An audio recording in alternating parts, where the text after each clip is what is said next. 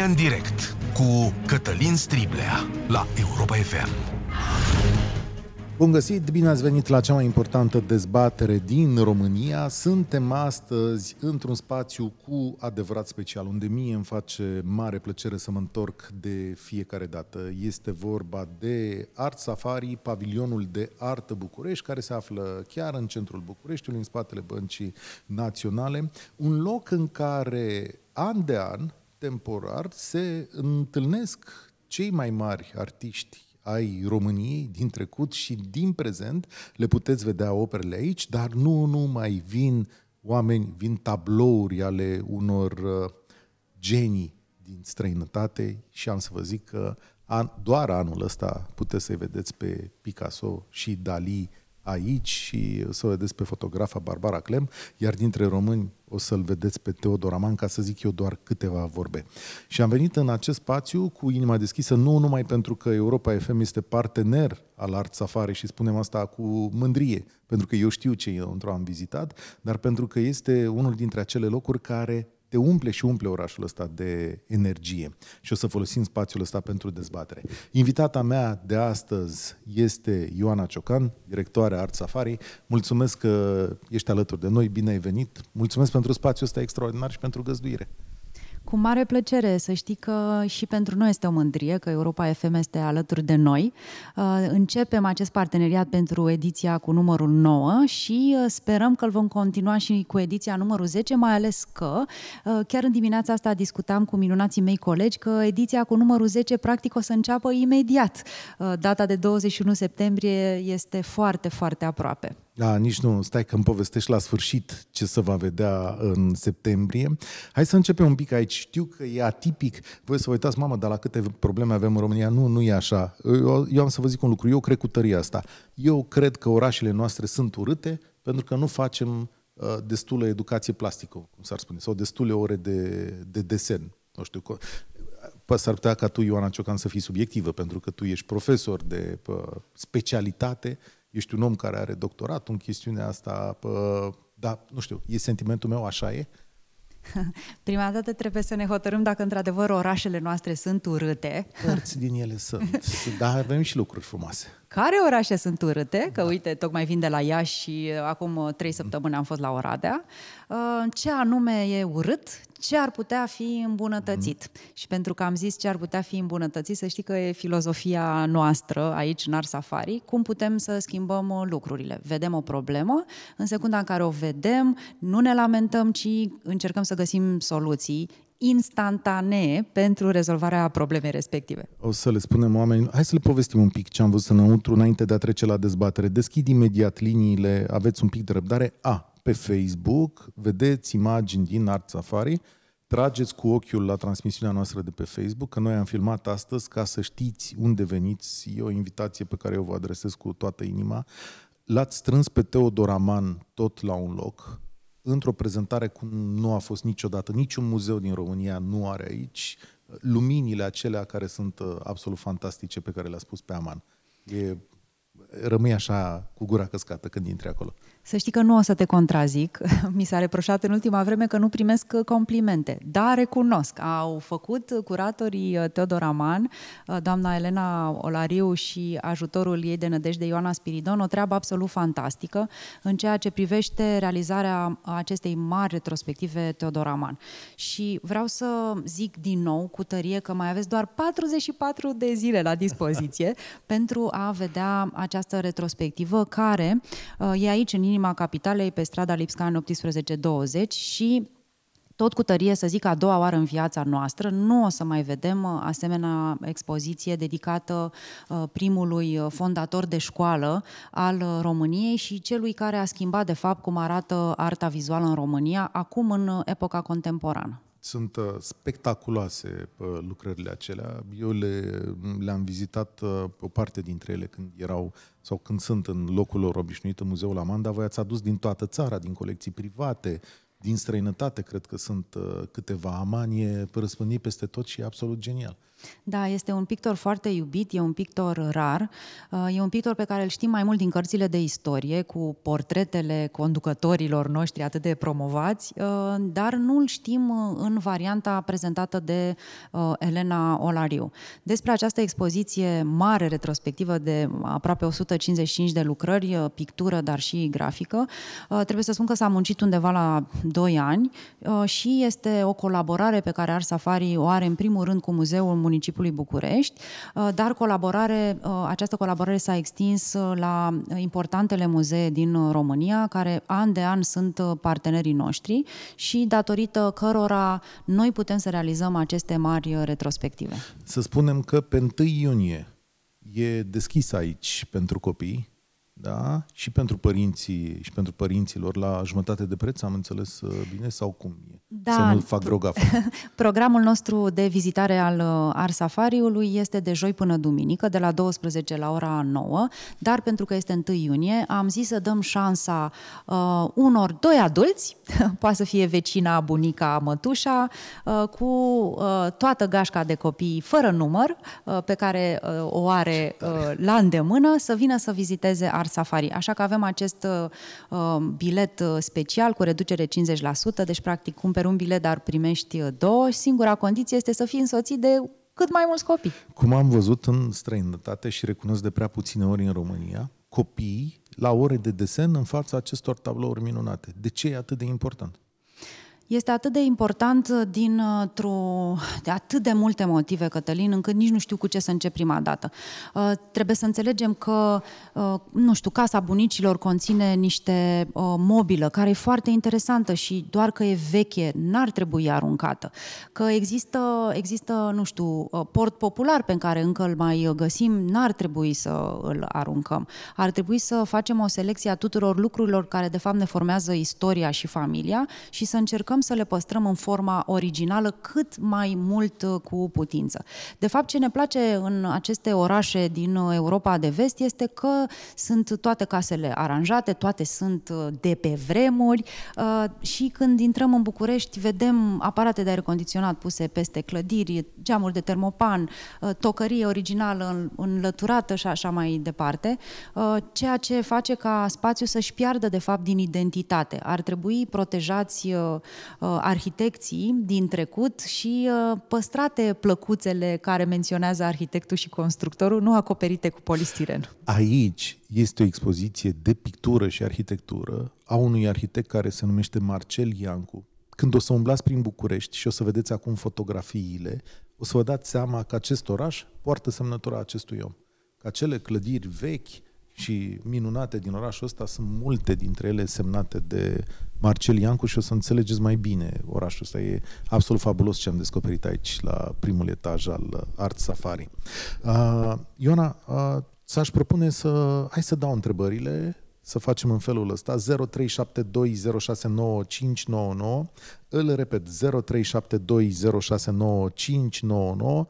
sunt curios câte ore de muzică și desen face astăzi copilul tău sunt acestea în viziunea voastră la fel de importante ca orele de matematică sau de română? Știu că exista și o inițiativă ca să mai scoată din orele alea de desen, care erau una pe săptămână, cred. Ar trebui să fie mai multe sau mai puține? Și uh, în ce fel poate să contribuie uh, educația plastică la educația copiilor voștri 0372 069 599 Dacă suntem pregătiți, dăm drumul la dezbatere. Începem. Alexandru, salutare, bine ai venit la Art Safari sau la Europa FM în Art Safari. Bună ziua, bună ziua tuturor. Uh, eu am vrut să vorbesc cu dumneavoastră pentru simplu fapt că uh, n-am copii moment de față, dar pot să spun că am avut o experiență legată de orele de desen, de muzică și matematică pe care o am avut în uh, clasele 5-8. Uh, pentru simplu fapt că uh, al meu diriginte de la vremea aceea, am 24 de ani acum, uh, aproximativ acum 10 ani și ceva, uh, dirigintele meu era de matematică, era profesor de matematică și insista foarte mult pe matematică, crezând că ne va ajuta pe viitor. Așa. În 5-8 n-am făcut nici măcar, cred, o oră de desen sau de muzică, nici măcar o oră. Făceam matematică chiar și în oră de dirigenție, deci dirigenție, desen și muzică. făceam chiar și în pauze matematică. Uh, și chestia asta pe mine nu m-a ajutat, dar mai mult m-a făcut odată să fug de uh, matematică, pentru că s-a existat extraordinar de mult și m-a spus să nu-mi placă lucrul ăsta, să urăsc uh, orele de matematică, dar uh, mie mi-a plăcut desenul. Mi-a plăcut mult desenul și n-am avut ocazia să-l fac în acea vreme. Nici la liceu nu l-am mai făcut și cumva uh, am depărtat desenul, deprinderea desenului de mine, pentru că nu am făcut la vremea respectivă. Și a, tu aveai vocație, plăcere să faci desen, nu ai făcut lucrul ăsta? Ce profesie ai de curiozitate sau ce ai studiat? Ce ești? Uh, nu, am terminat liceul și momentan lucrez pentru un magazin de bricolaj. Am înțeles. În, am înțeles. Uh, ca și consultant n-am, n-am făcut un liceu, n-am făcut o facultate, doar câteva cursuri de specializare. Am înțeles. Deci vreme de... De fapt, în copilăria ta tu n-ai avut nicio posibilitate măcar să privești desene la școală. Dacă astăzi ești, astăzi ești adult, dacă te-ai întâlnit cu profesorul tău, ce da. ai avea să-i spui? I-aș atrage atenția, în primul rând, că a exagerat mult orele de matematică, mult prea mult, m-a făcut să urăsc matematica. Poate aș fi făcut ceva cu, poate aș fi făcut o facultate sau m-aș fi îndreptat la liceu către un liceu cu profil uh, uh, real, matematică uh, și poate aș fi făcut și o facultate. N-aș fi ajuns unde am ajuns acum, poate aș fi făcut și o matematică și mi-a fi făcut mai mult decât îmi place și mi-a plăcut la vremea respectivă. Mulțumesc tare mult, Alexandru. Ce le zici, Ioana Ciocan, profesorilor, școlilor care, mai de cum să-ți abandonezi copiii? Trebuie să le arăți măcar cât, un minim acolo, cât e minimul într-un oraș, să le arăți în materie de desen. Eu nu zic că toată lumea poate să deseneze. În primul rând, i-aș spune lui Alexandru, care are doar 24 de ani, că poate să dea la o universitate de artă sau matematică sau arhitectură sau poate să facă ce vrea el și la 24 de ani și dacă nu se hotărăște și mai trec încă 50, când face 80 de ani și atunci poate să își urmeze visul. Uh, nu cred că există o limită când putem să dăm la facultate, putem să luăm pauze, putem să ne răzgândim în timpul facultății și să ne îndreptăm spre o altă carieră. Deci niciodată nu e prea uh, târziu. Da. Uh, cazul acesta pe care ni l-a povestit Alexandru e ceva ce am auzit frecvent în ultimii uh, 30 de ani, nu e ceva ce ne ia pe niciunul da. prin uh, surprindere. Uh, din păcate există această legendă în România acum că automat mor de foame dacă ești artist. Uh, orice fel de artist. Uh, se vorbește mult uh, uh, despre cum artiștilor le este greu. Recunosc, artiștilor le este greu. În general, um, a fost și mai dificil după pandemie să fie artist de toate felurile, și poet, dar și actor și artist vizual. Dar asta nu înseamnă că nu ar trebui să ne urmăm vocațiile sau nu ar trebui din când în când să-i contrazicem pe părinți. A, ce bună e asta, da, imediat vorbim cu Andreea. Vreau să te întreb apropo de cât de le greu artiștilor, că eu știu povestea unei fete extraordinare, Irina Dragomir, care este, expune aici și un artist senzațional, dar hai înainte să vorbim cu Andreea. Salutare, bine ai venit la Europa FM și Art Safari. Andreea, ne auzim? Cred că am pierdut-o, o să verificați telefonul ăla. Dacă nu e Andreea, hai să vedem cu Eugenia. Salutare, Eugenia! Bună ziua! Bună ziua! Mă bucur mult că am reușit să, să intru în direct cu dumneavoastră. Sunt foarte emoționată, nu prea obișnuiesc să vorbesc în public, ca să zic așa, emoții cu vorbirea în public.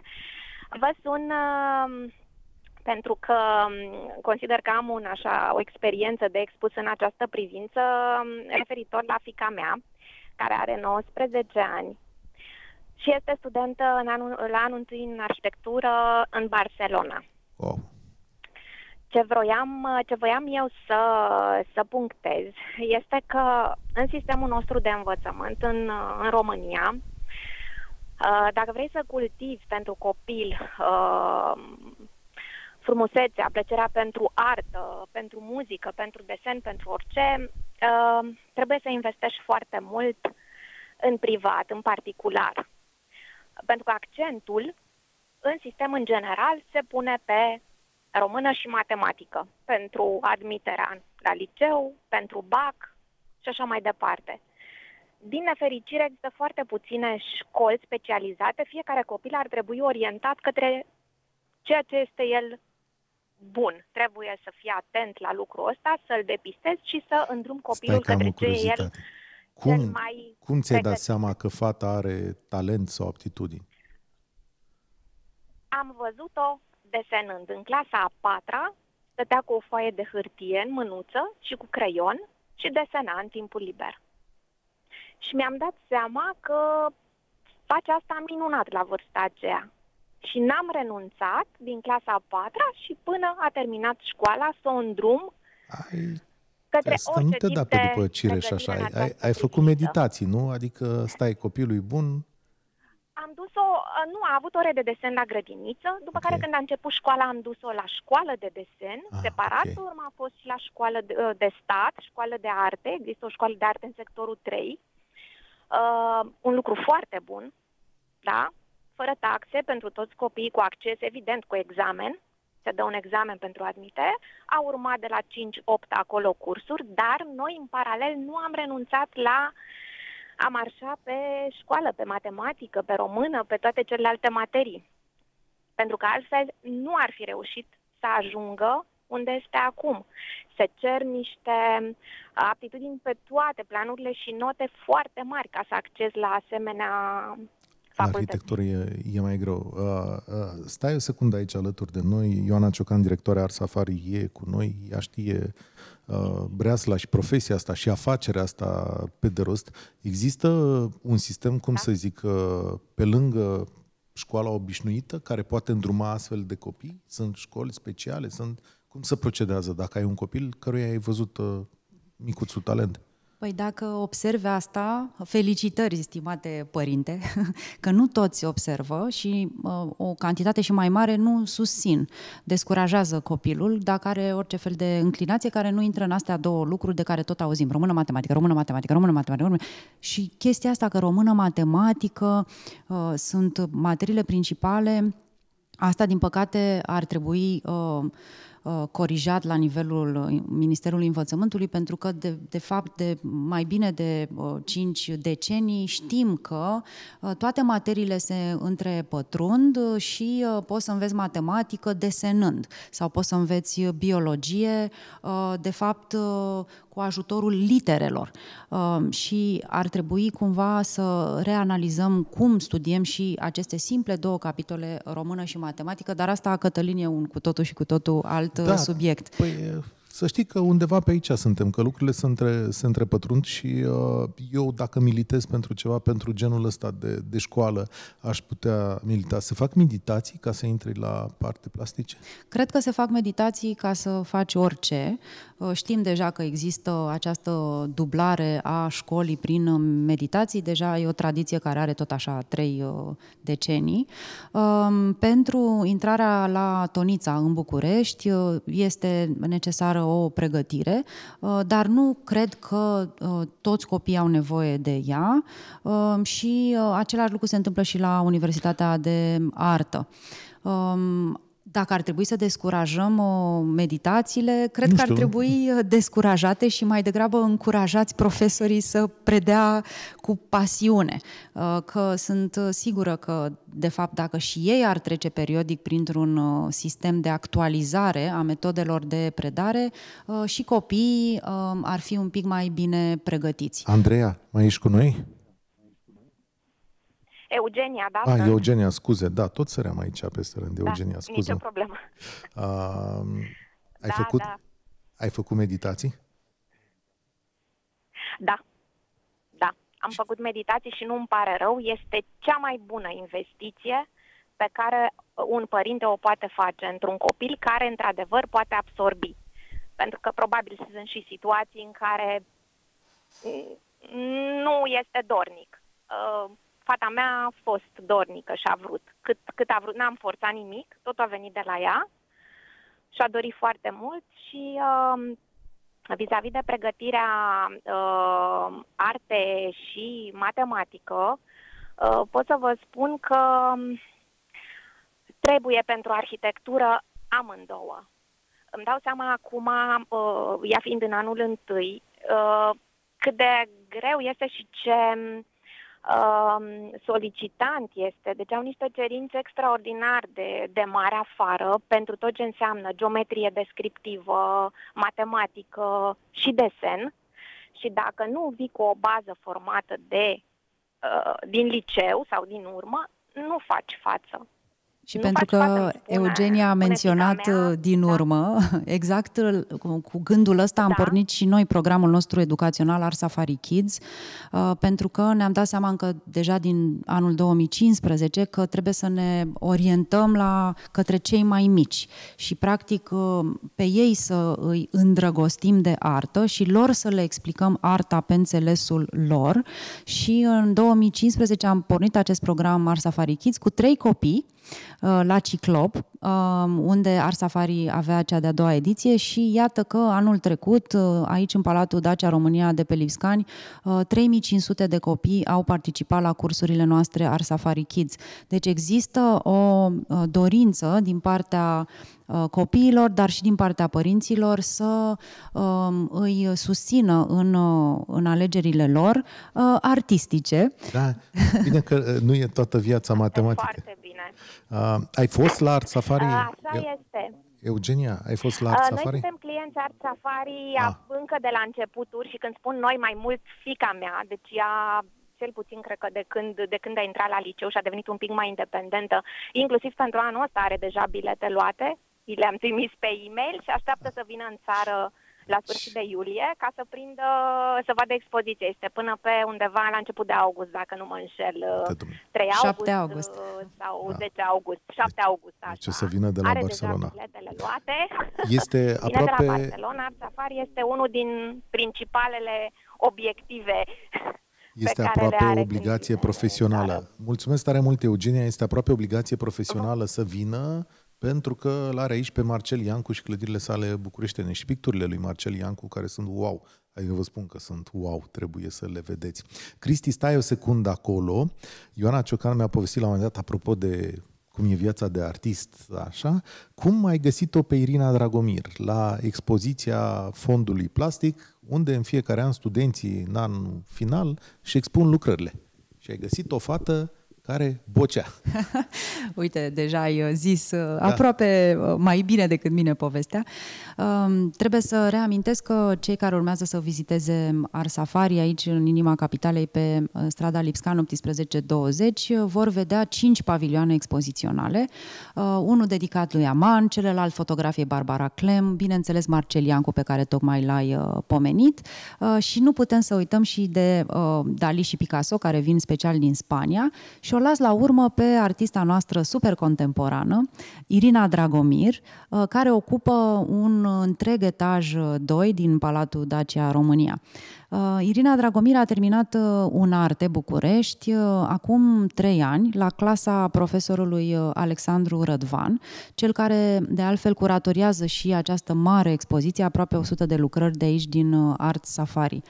Povestea cu Irina Dragomir e foarte simplă și are așa un uh, aer de Hollywood, dar să știți că este purul uh, adevăr. Um, în momentul în care am vizitat expoziția de final de semestru de la Unarte, secția pictură, bineînțeles că m-am dus să văd și clasa lui Rădvan, pentru că acolo se întâmplă de fiecare dată lucruri foarte interesante și într-un colț era această tânără care sughița și plângea și zicea că a terminat facultatea și uh, cel mai uh, groaznic lucru care de fapt îi se întâmplă este că își pierde locul unde poate să lucreze. Pentru că um, un arte uh, oferă unei clase de X studenți un atelier, iar ei pot să acceseze atelierul respectiv, să-și lase culorile acolo, pensulele, să-și facă micul lor colțișor, uh, devine atelierul lor de profesionist, chiar dacă sunt studenți. Iar Irina a spus că își pierde locul de a lucra, că nu o să mai aibă unde să mai lucreze și că practic viața ei de artist a terminat, că a terminat cu facultatea, a terminat cu atelierul și, uh, mă rog, m-a înduioșat așa povestea ei și am zis, auzi, nu vrei să-mi arăți și mie lucrările tale? Și a început să scobească pe acolo prin uh, trei șevalete și mi-a arătat o lucrare care mi-a plăcut foarte mult și am zis, măi, Irina, nu vrei să ne trimiți și nouă la Art Safari portofoliu? Uh, poate uh, te vede vreun curator. Deci a fost fix ca în filme. Uh, Irina imediat a făcut niște fotografii și foarte curând ne-a trimis un portofoliu și uh, acel portofoliu a fost trimis către uh, curatorii Art Safari. Uh, în 2019 era Mihai Zgondoiu și Mihai Zgondoiu a, a și introdus-o în uh, expoziția pe care a curatoriat-o, Young Blood se numea, și de atunci, din 2019, Irina Dragomir este prezentă de fiecare dată în selecțiile curatoriale și iată că anul acesta uh, am decis să-i facem o expoziție personală, uh, și prima ei personală, dar și prima personală pe care Art Safari o dedică unui artist uh, foarte tânăr. Colegul meu, Mircea, care face aici regia tehnică, a intrat astăzi prima dată acolo și a zis wow, este bine, bine fata asta. Așa, bine, ești cam de aceeași vârstă, de asta vorbesc așa. Cristi, salutare, ești la Europa FM, noi suntem în sediul Ars Safari. Se mai face, domnule, desen la școală sau matematică și română? Salutare!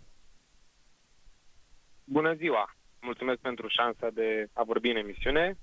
Uh, eu acum am 21 de ani, deci am făcut uh, școala recent și am făcut până în clasa 8 și desen și muzică. În uh, că școala generală mai puțin se punea accent pe așa ceva, se urmăreau performanțele la evaluarea națională. Uh, în clasele 1-4 am avut bucuria de a merge la Muzeul Artelor din Ploiești cu o profesoară în timpul orilor de desen. Și acolo eram uh, îndrumați spre a crea ceva mânuțele noastre. Știu că am făcut și conturul, am pictat o icoană. Au fost niște chestii pe care le țin minte cu drag pentru că mi-au dat șansa să îmi exprim uh, imaginația puternică pe care o aveam la vârsta aia. Și... Uh, dar de atunci uh, mai puțin, mai puțin s-a pus accentul pe asta. Dar acasă? Uite, am o curiozitate. Acasă, cum se spune, te-au cărat prin muzee?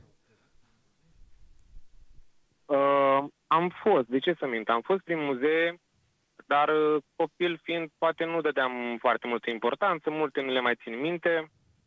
Uh, tind să zic că am uh, două mâini stângi când vine vorba de desen și de asta, să zic așa, acasă nu prea am abordat acest subiect. Dar uh, cu acea doamnă profesoară aveam curajul să creez ceva și când vedeam ceva creat uh, de mine, în stilul meu de a face ceva, mă simțeam foarte mândru și încă mai am multe dintre creațiile pe care le-am făcut la școală. Și uite, de fapt, ce important este că atunci când uh, copiii ajung în muzee, uh, să li se facă un ghidaj potrivit uh, vârstei lor, Uh, mă bucur că reușim asta împreună cu Ghizi Ar Safari să oferim uh, vizite ghidate tematice pentru copii de toate vârstele. Începând de la 3 uh, ani, fac niște căut, caută comori, fac un treasure hunt ah, da? prin Ar Safari, da? după care povestim ce găsesc, caută pisicile din lucrările lui Aman, caută crocodilii din lucrările Irinei Dragomir și aceste vizite tematice merg în profunzime profunzime pe măsură ce crește și uh, vârsta. Deci e important uh, și fac o invitație deschisă aici la Europa FM către profesori să-și aducă copiii aici în Art Safari, dar și uh, către părinți, pentru că le promit că nu se vor plictisi. Uite, eu cred că dacă noi am fi avut mai mult artă plastică sau educație plastică, nu ne-am fi speriat atunci când Obi a pictat aici, în spatele nostru, în piața Sfântul Gheorghe, un uh, balaur și un om care ucidea balaur pe peretele unei case, după care a venit uh, biserica și comunitatea și a zis, nu, nu, așa ceva nu putem lăsa aici și aia era una dintre spectaculoasele picturi ale acestui oraș. Eu așa văd lucrurile. Apropo, astea, uh, dar stai să terminăm cu Cristi. Cristi, simți o lipsă în viața ta acum la 20 de ani? Simți o lipsă faptul că mulți ani nimeni nu te-a ghidat pe drumurile astea? Uh, da, sincer da. Deși eu cel mai probabil oricum nu aș fi fost înclinat să urmăresc o carieră în domeniul artelor plastice, uh, mult timp, deci după acea perioadă din copilărie, mult timp n-am mai dat importanță artelor plastice sau a frumosului, pentru că am fost foarte mult taxat pe tot ce ține de științe, pe matematică română, așa cum ați zis și dumneavoastră. dar uh, asta până recent. Și recent am avut plăcerea de a participa la Ploiești, la același muzeu al artelor, uh, la expoziția de artă a unei rude mai îndepărtate, de picturi și creații plastice. Și uitându-mă la ele, am văzut cum începea să-mi joace mintea, să-mi joace imaginația. Am simțit că am fost uh, stimulat cu adevărat de acele creații. Și că poate, dacă eram lăsat mai liber sau aveam mai mult timp la dispoziție să-mi exprim și eu mai liber, uh, puteam să creez ceva foarte frumos pentru mine sau ceva unic, să zic așa. Da, dar să știi că poți să ai curaj și acum. Adică Sincer, nu cred că te împiedică nimeni. Mai ales că Muzeul din Ploiești este știu, un muzeu extrem știu. de interesant uh, și unul din partenerii de încredere a Air Safari. De fiecare dată răspund cu uh, inima deschisă invitațiile, invitațiilor curatorilor Air Safari de a trimite opere foarte importante aici la București și e un muzeu care merită, merită vizitat. Cristi, mulțumesc tare mult. Uh, hai să vă zic și uh, secrete cu Ioana Ciocan. Avem un interviu pe Europa FM, uh, îl găsiți pe site cu ușurință sau pe YouTube, făcut vara trecută sau acum două veri. Și zic, Ioana ce ar mai fi de vizitat în țară și îmi spune, du-te la Constanța, da, unde e un muzeu extraordinar, vă spun cu mâna pe inimă, recomandarea ta, îți mulțumesc.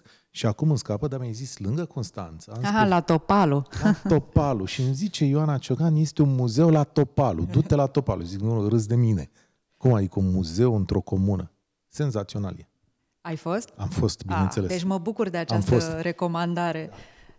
Am fost, e, vă recomand la toți artiști români superbi, superbi, superbi, din multe, din multe epoci. Să știți că avem multe de învățat unii de la alții. Uh, Izabela, salutare! Bine ai venit la România în direct. Bună, bună ziua! Mai faci desen? Um, vreau să vă spun doar că... Mă auziți? Da, da, da, te ascultăm.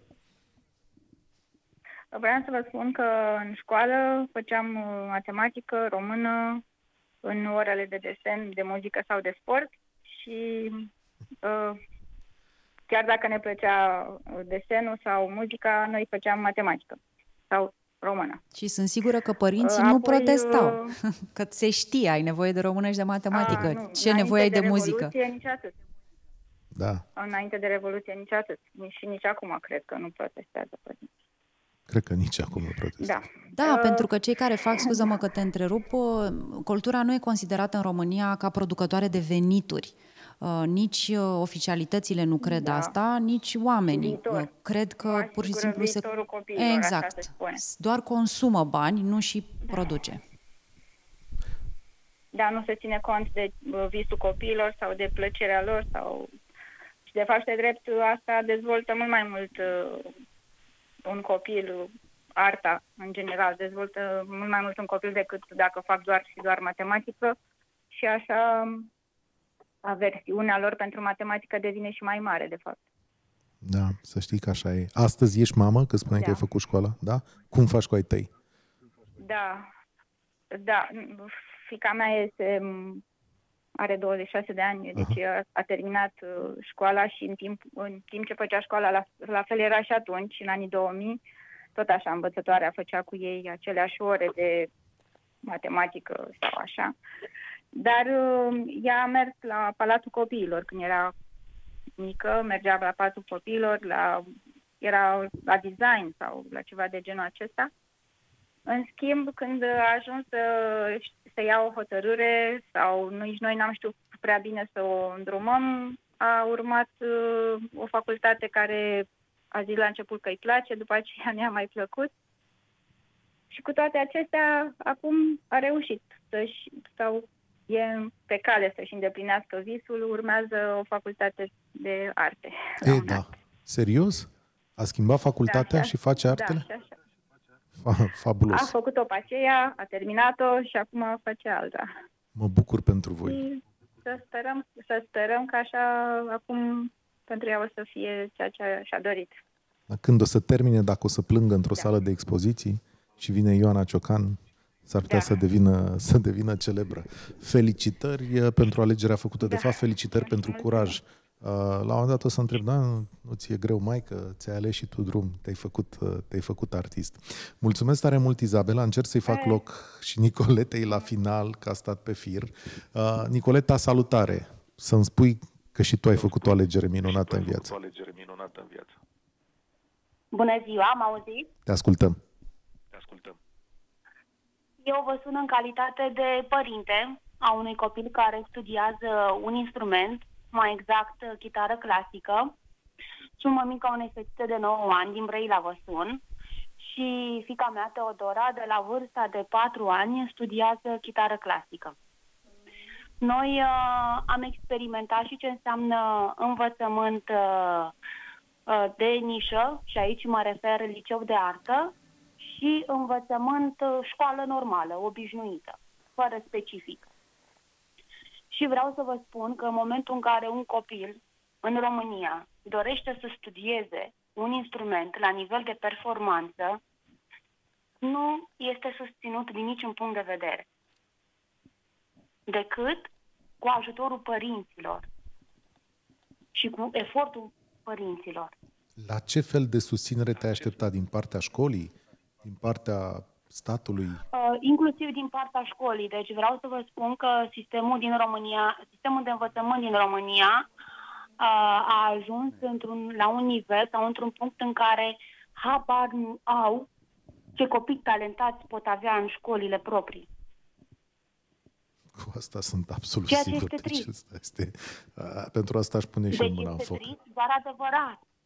Îți dau dreptate. De fiecare am înțeles. dată vedem uh, copii foarte talentați, unii pur și simplu vizitează expozițiile Art Safari, stau jos și încep să deseneze și uh, îi întrebi, ești la un liceu de profil? Zice, a, nu, eu sunt la mate fizică. Și suntem foarte surprinși de talentul pe care îl vedem uh, uh, peste tot în jurul nostru. Păcat că nu este mai uh, cultivat. Asta facem aici. Nicoleta, îți mulțumesc tare mult și îți țin pumnii că e final de emisiune și am să o rog uh, pe Ioana Ciocan să relanseze ea invitația. Uh, nu ne spune încă de septembrie, că noi o să mai venim aici, adică m, mai avem multe emisiuni de făcut din spațiul ăsta, dar zine de ce, încă o dată, de ce trebuie să venim mâine? Joi, vineri, sâmbătă, duminică, vă atrag atenția, da? Joi. Să nu dați buzna azi. Da, am, avem și oameni care vin de luni până miercuri, dar uh, din păcate ușile noastre sunt larg deschise, începând cu joi uh, ora 12. Uh, Cei care nu au timp le recomand uh, din suflet și din inimă să vină la tururile de noapte, le găsiți toate pe arsafari.ro, Da, da, da, uh, că încep la ora 10, sunt cu muzică, uite acum vineri și sâmbătă cânt aici în Arsafari Toulouse-Lautrec. E, da? Da, și uh, după ce cântă Toulouse-Lautrec, uh, se bea și niște șampanie, se bea și niște prosecco și ghizii noștri îi plimbă și le povestesc secrete până la ora 1 noaptea, celor care uh, sunt alături de noi vineri și sâmbătă. Ce tare e asta, oameni buni și pregătiți-vă și de 1 iunie când puteți să veniți cu copiii. Uh, Ioana Ciocan, ne revedem. Mulțumesc tare mult pentru întâlnirea asta, mulțumesc pentru Aman, Picasso, Dali, Iancu, pentru Irina Dragomir. Ce să vă zic, România în direct de astăzi se încheie aici. Îți mulțumesc încă o dată, spor la treabă tuturor.